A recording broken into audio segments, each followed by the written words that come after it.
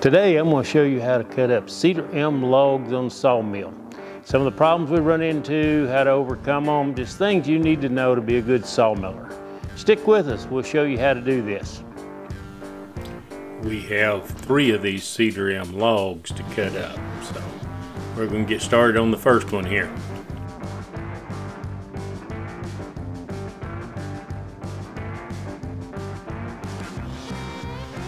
Cedar elm is a moderately hard wood, but the fact that it has interlocking grain makes it a good choice for cutting boards or something that will be abusing the wood. Stays together better.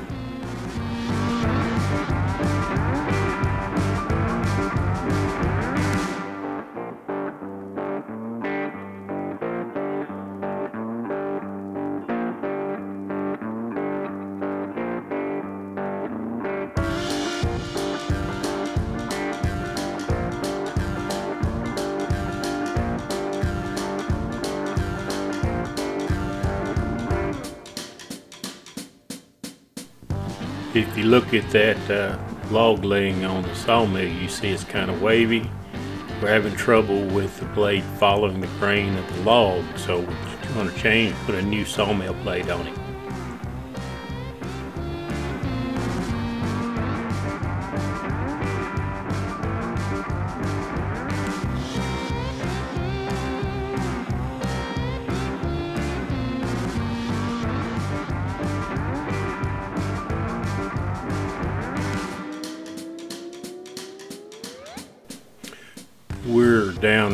Last cut on this log.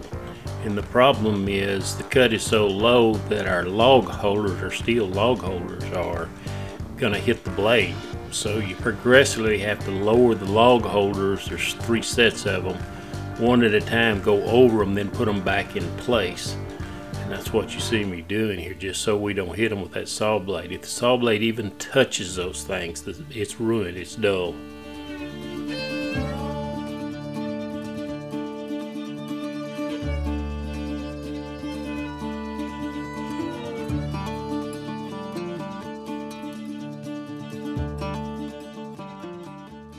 Well, you know what was funny about that? It seemed like every time I come to one of these knots, it stopped. It would cut real clean till you got right here, then it won't stop.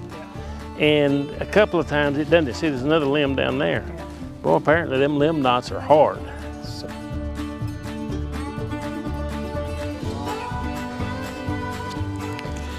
I am going to uh, cut this log into one inch and inch and a half boards, so they're going to be very thin.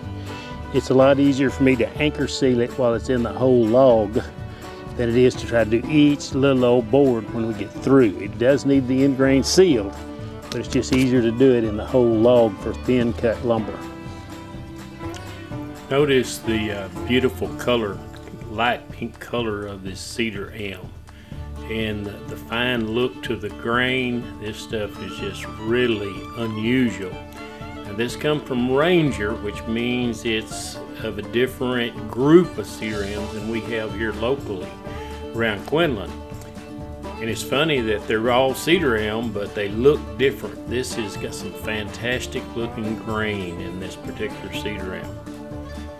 It has to do with the chemicals or the soil properties that these trees grow in. Makes them look different. And see, that's all the time it took to uh, seal the end grain on this log. Pretty quick work.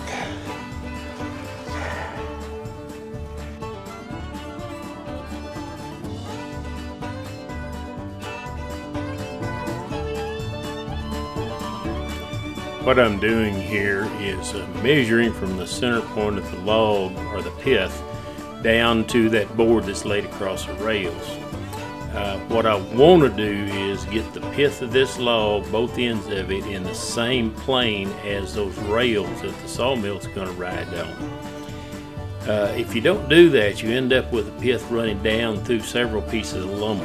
And I like to cut the center pith out and dispose of it in one piece very necessary thing if you want really quality wood out of your uh, logs. A week ago here we had a heavy ice storm.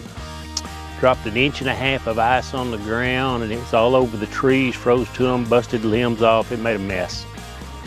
But here we are a week later, of course we're in Texas and the weather changes often.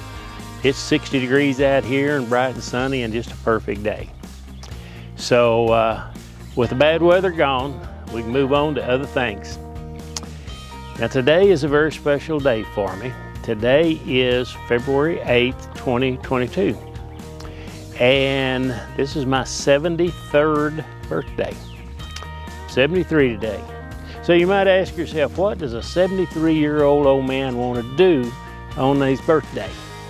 Well, what I'm going to do is I'm going to crank up this sawmill and start cutting up these cedar elm logs.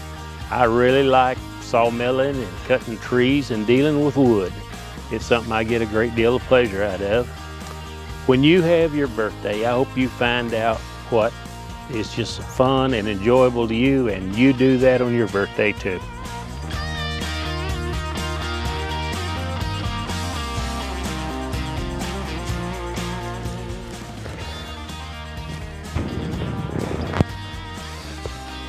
Well, here we are on uh, starting again on these cedar elm logs. Yesterday we cut one up into two inch thick slabs, natural edge slabs. Uh, again, we're cutting these up for cutting boards is what we're thinking about using them for.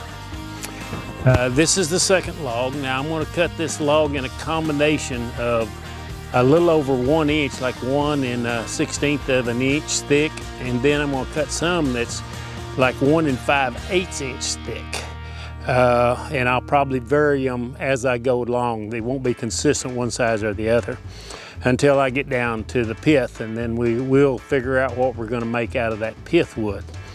Uh, so we'll work on that. But we're gonna get started milling this into thinner boards.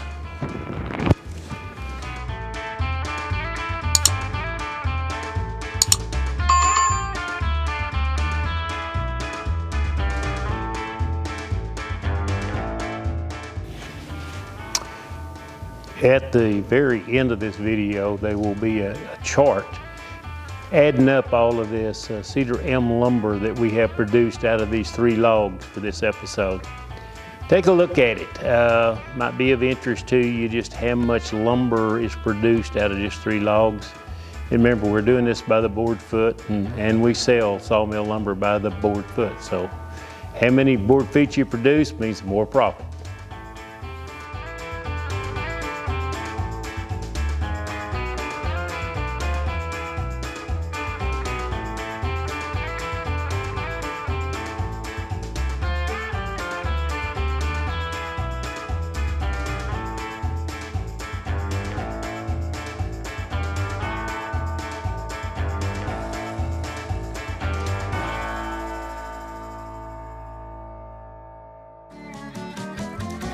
It's uh, very important that we get the sawdust off these logs.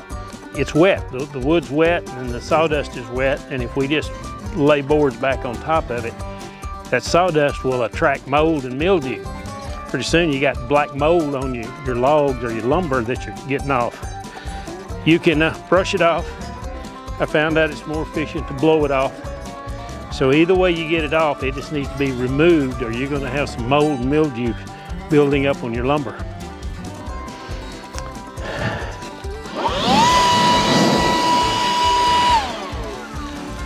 And this is much more important for people that air dry their lumber than kiln dry it. If this stuff was going straight to a kiln, that would dry it. But most kilns also stack their lumber out and let it dry 30, 90 days before they ever stick it in the kiln. So it's gonna mildew. So again, get rid of the sawdust.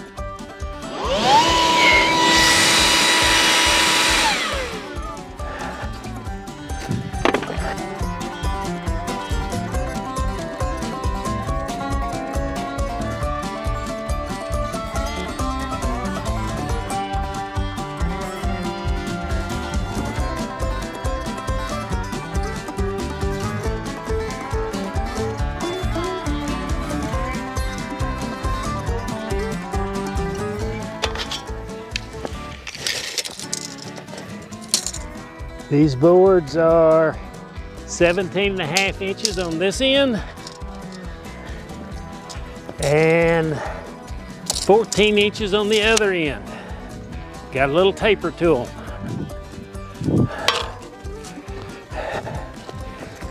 This board is cut at an inch and a half.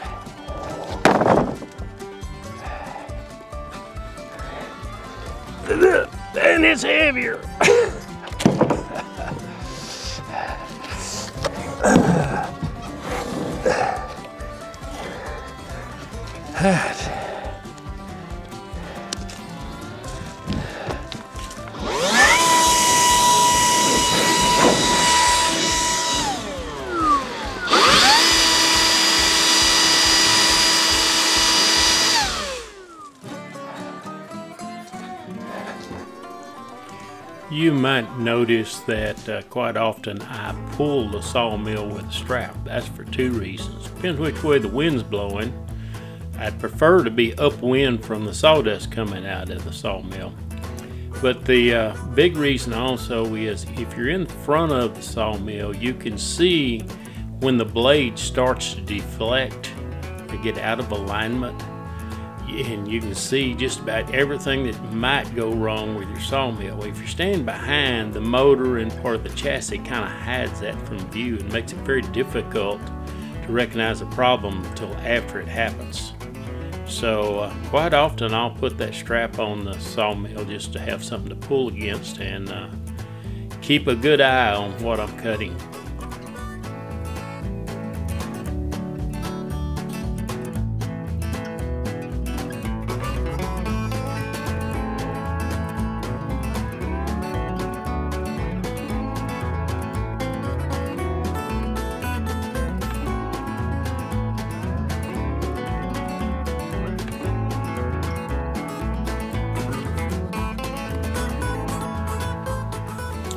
This chain and using the tractor is a method I've come up with about flipping the log over or rolling it. Uh, it is uh, very helpful and uh, you know it is just hard to, to roll some of these logs because the weight of them and the size of them but this method seems to work pretty dang good uh, by just flipping them and it also use it when I'm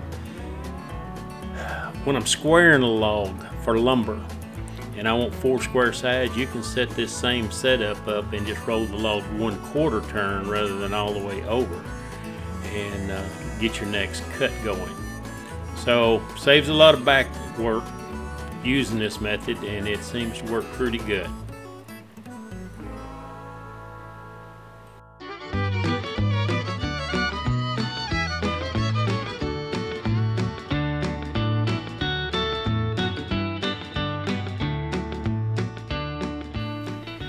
I get questions occasionally about all the waste that uh, sawmilling produces.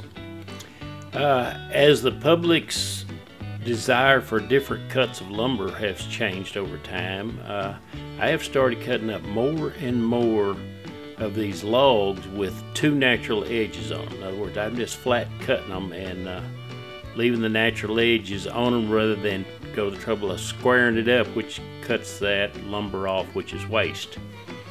Uh, if a customer shows up and wants a square straight edge, I just simply pull the uh, piece of lumber out that they want and bring it up here to sawmill, just stand on its edge and just rip a straight edge on it.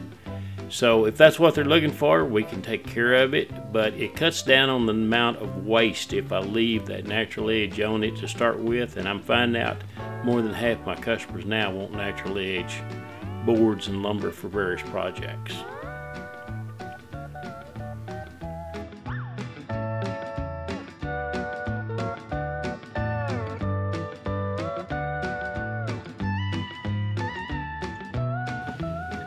Why I keep doing that is when you're in really hard wood that has very distinctive grain, sometimes the blade will try to follow that grain up or down.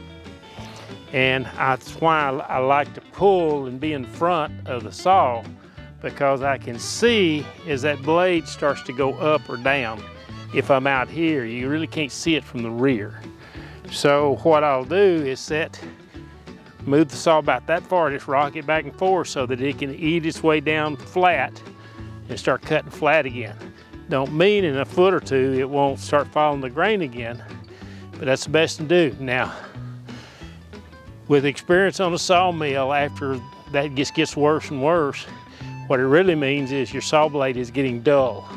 So when it first starts doing it, I'll just try to deal with it, but if it persists, I'll have to stop and change blades for a sharper saw blade.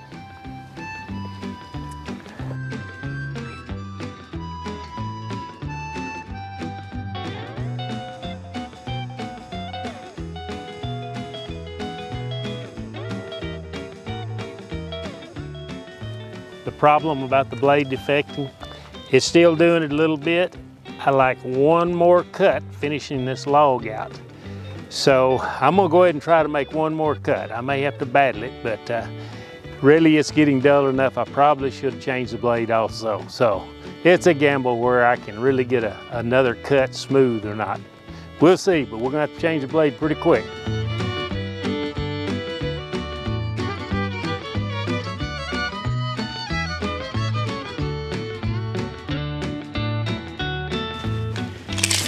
We're towards the center. So, look at there. Gonna get a 15 inch wide cutting board on that end. And on this end, I'm gonna get about a 13 inch wide cutting board. So,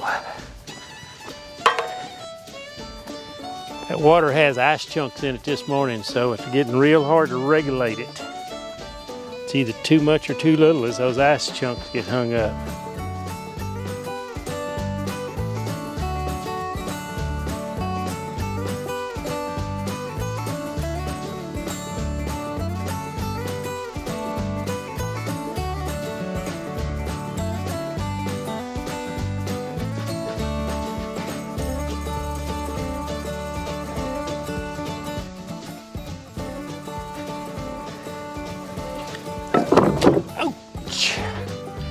The finger.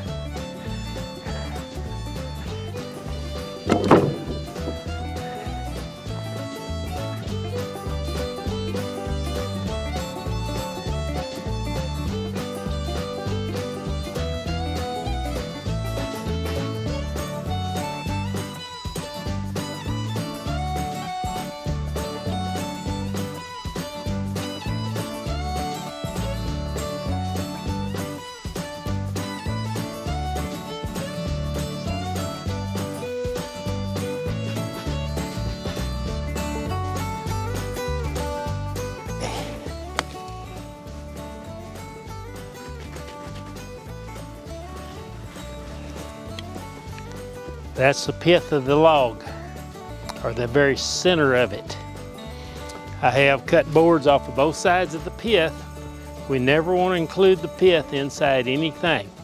I don't care if it's a cutting board, a tabletop, a bar uh, top, or anything, because that wood is harder than the rest of the wood and it's gonna crack. So, being that I make cutting boards, I've got solid cutting boards but a lot of time people like to laminate different colors of wood together. So what I'm gonna do is cut this into, once I clean it up, I'm gonna cut it into basically two inch billets that then can be put in a cutting board as two inch strips. Or turn them crossways and make them three inch strips. So you have your choice. So one, I, at the other end, the pith was eight inches off this board. Over here, it is, geez, 11 inches off the thing. So I've got to go to the other end and raise that board up till it meets the same height as this. So the, on the pith in one board right down the center. So I'm gonna jack this up till I got the pith perfectly horizontal to the rails on my sawmill. And that way it's only on one piece. So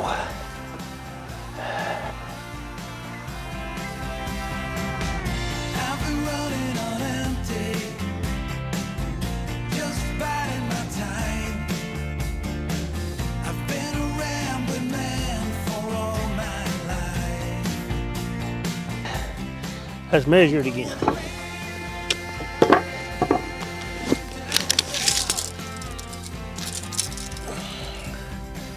I'm reading about 10 inches on this end. Recheck this end. Sometimes as that end goes up, this end goes down, so you have to keep checking it. And that's about 10 and a half inches there, so that's close enough. Now we want to do one more check. We want to see that it's more or less vertical. That's, that's good and vertical right there. And that is there too. We're, we lucked out.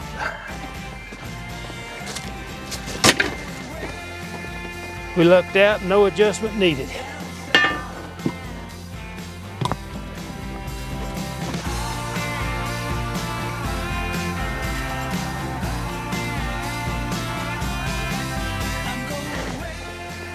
It's 11:16 in the morning.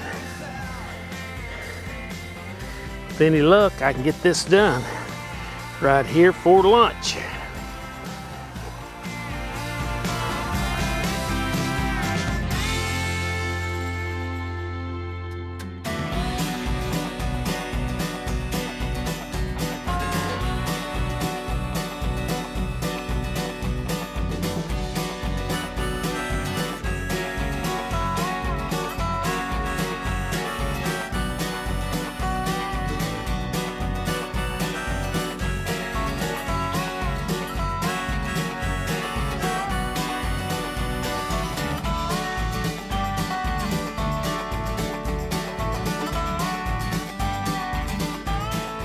It's talking about the pith. I've got it lined up on each end parallel with the pit. But what I'm seeing right here is actually this the pith rises then falls. It's higher in the middle. So you can't help that. It's just one of them things. But unusual to see pith rise and move that much.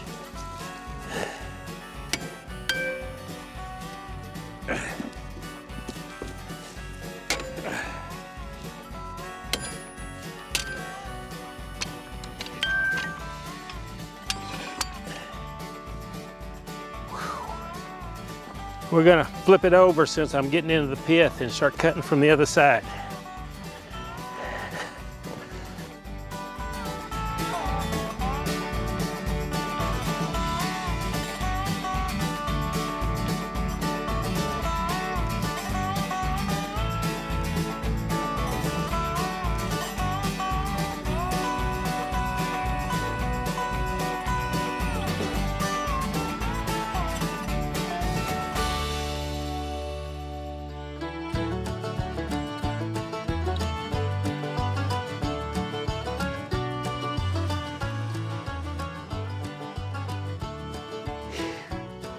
Need to make one more cut.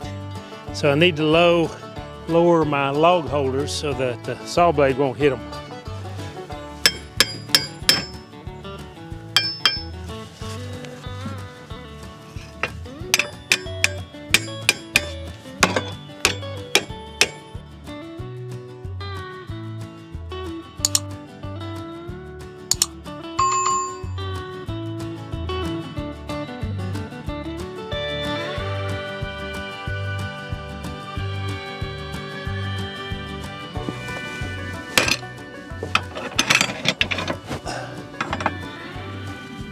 Right. That's the pith of the log. Got no use for it whatsoever. So we're gonna throw it away.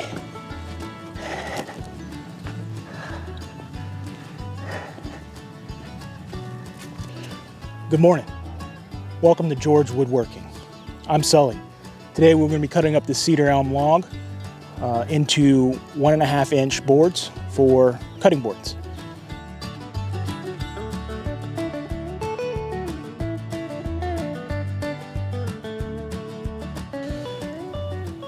So with this cedar elm log, what we have here is we had a crotch piece at the top.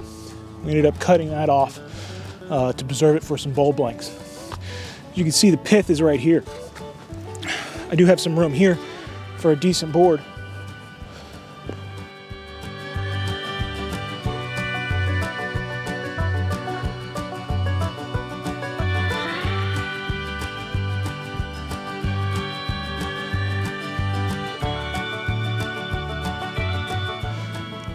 Markings right here.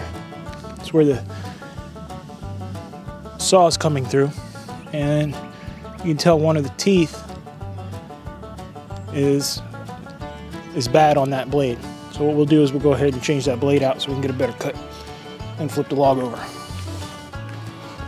I've already changed the bandsaw blade. Got the log hooked up to be rotated. And I'll knock out the, uh, the brackets holding it and flip it over.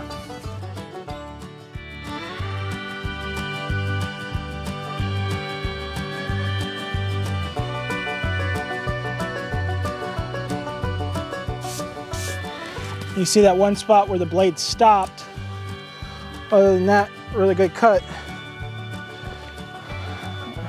Add some more tension to the blade. And we should be good.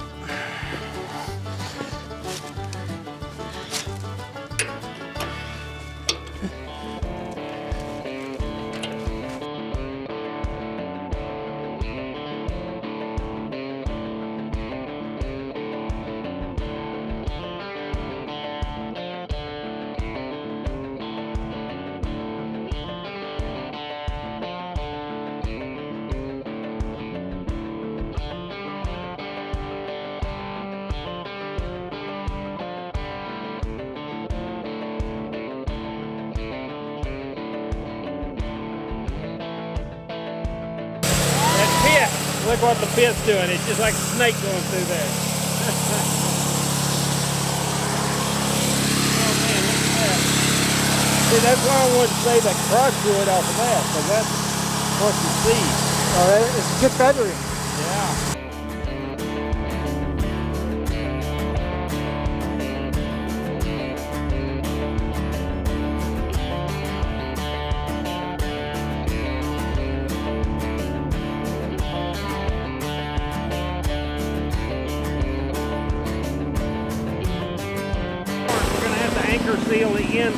Of it. I noticed that other stuff we've already cut is already, even though it's anchor sealed, is showing cracks.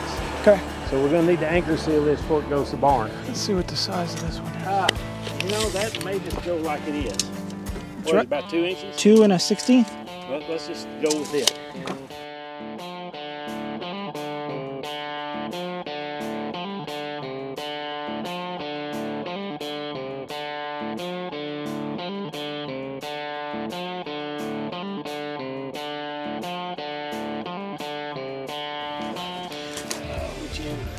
just like it is. Just like it is. Your way, just a hair. There you go. Yeah, we may want to anchor seal close up here where we can just work on it. Okay, it all right.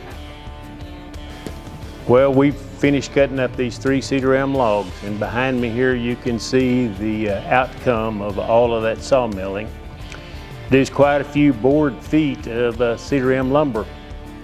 Uh, as a sawmiller, you know, we always try to calculate uh, or add up how many board feet our logs produce because we really turn around and sell it lumber at the sawmill by the board foot. So these three logs done a pretty good uh, turnout on board feet, but that's not really what's great about these logs. It's the grain. These grain, these logs come from Ranger, Texas, and they have a unique grain to them. It's just going to be gorgeous once it dries. But we've got to take these things and dry them. The uh, one-inch lumber in here will probably be dried by the end of the hot Texas summer, but there is inch and a half and two-inch boards that may take two years to dry. I have a moisture meter down here in the barn and I'll check them periodically just to see when they're dry. I never sell lumber until it's dry because it hadn't finished uh, shrinking and warping and doing all the things lumber likes to do. So I'll make sure it's dry before it goes out of here. So we'll keep a check on it.